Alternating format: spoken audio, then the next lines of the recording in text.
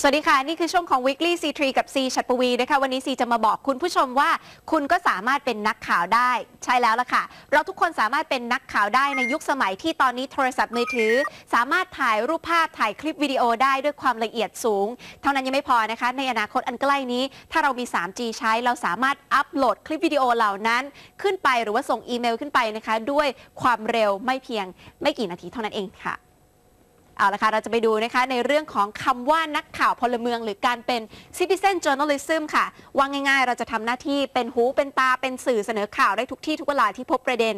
อย่างเช่นตัวอย่างล่าสุดกับพลเมืองนะคะ ที่มีชื่อว่าโรเบิร์ตสตีเฟนที่สหรัฐนี้นะคะ เขาได้ถ่ายคลิปการระเบิดของแก๊สที่เขาบังเอิญไปเจอระหว่างทาง พอเห็นเพลิงไหม้ปั๊บก็ไปสังเกตการดูค่ะ บอกว่ามีใครแจ้งตำรวจหรือยัง หลังจากนั้นก็ใช้ iPhone 4 ถ่ายนะคะแล้วก็ส่งมาตัดต่อบน iPad 2 ที่สามารถระบุพิกัดที่อยู่จุดเกิดเหตุได้ แล้วก็ไปใส่ฟิล์มในการตัดต่อเป็นข่าวได้ค่ะ เท่านั้นยังไม่พอก็ส่งฟุตเทจคลิปนี้ไปให้ทาง CNN แล้วก็ MSNBC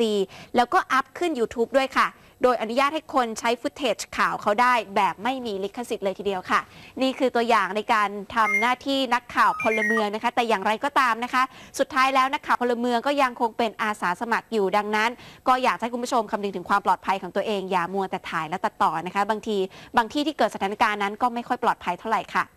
ในช่วงนี้เราไปติดตามชมข่าวไอทีอื่นในรอบสัปดาห์นี้กันต่อค่ะ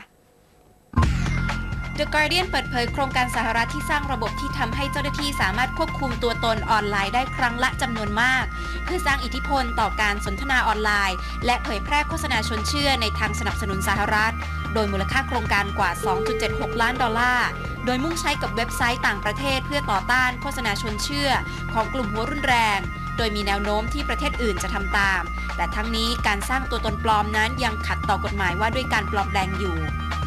จูเลียนอาซานช์ผู้ก่อตั้งเว็บไซต์ Wikileaks ปรากฏตัวล่าสุดที่มหาวิทยาลัยเคมบริดจ์โดยบอกไว้ว่าอินเทอร์เน็ตนั้นคือเครื่องมือสอดแนมประชาชนที่ใหญ่ที่สุด เตือนให้คนระวังการใช้งานอินเทอร์เน็ตเพื่อเคลื่อนไหวทางสังคม โดยยกตัวอย่างการจับกลุ่มนักเคลื่อนไหวอียิปต์จากการทิ้งร่องรอยเอาไว้ใน Facebook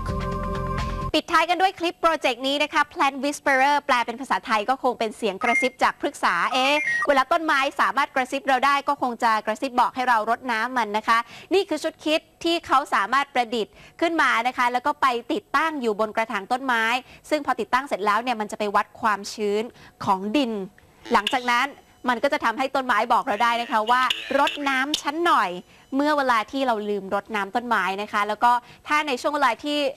ดินนั้นกำลังมีความชื้นปกติดีนะคะ มันก็จะบอกว่าฉันมีความสุขจังค่ะอะ ก็สามารถโปรแกรมให้พูดนู่นพูดนี่ได้ด้วยนะคะ น่าจะลองนำมาใช้กันมากขึ้น เพื่อที่จะได้ลดโลกร้อนกันด้วยค่ะสำหรับวันนี้หมดเวลาของ Weekly CT แล้ว สวัสดีค่ะ